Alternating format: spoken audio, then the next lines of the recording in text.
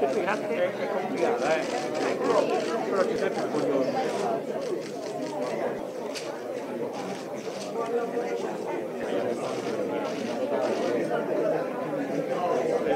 In tre mesi diciamo, non si può fare quanto si può fare in tre anni, però assicura alla Corte serenità e indipendenza perché nessuno pensa o programma una corsa indipendente dalle scansioni temporali. Quindi,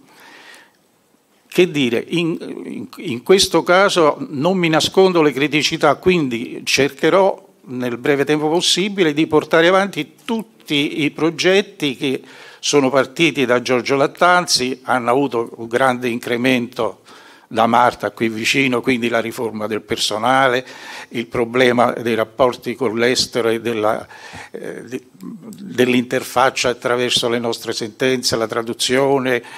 e quant'altro, tutto quello che è possibile. La, coll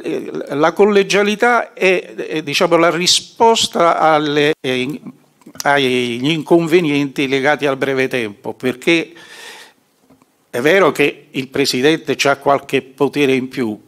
non è proprio letteralmente un primo in pace, ma i poteri in più che caratterizzano la figura del Presidente sono,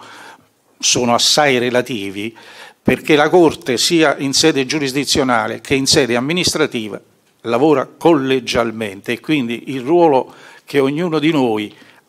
è in grado di dare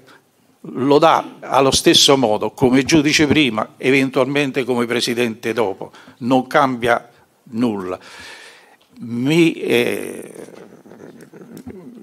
voglio ancora di più, dati i cinque mesi, accentuare la collegialità, quindi ho già nominato due vicepresidenti che sono quelli che mi seguono nell'ordine anzianità, il primo dei quali sarà al 99,99 ,99 Giancarlo Coraggio è il prossimo presidente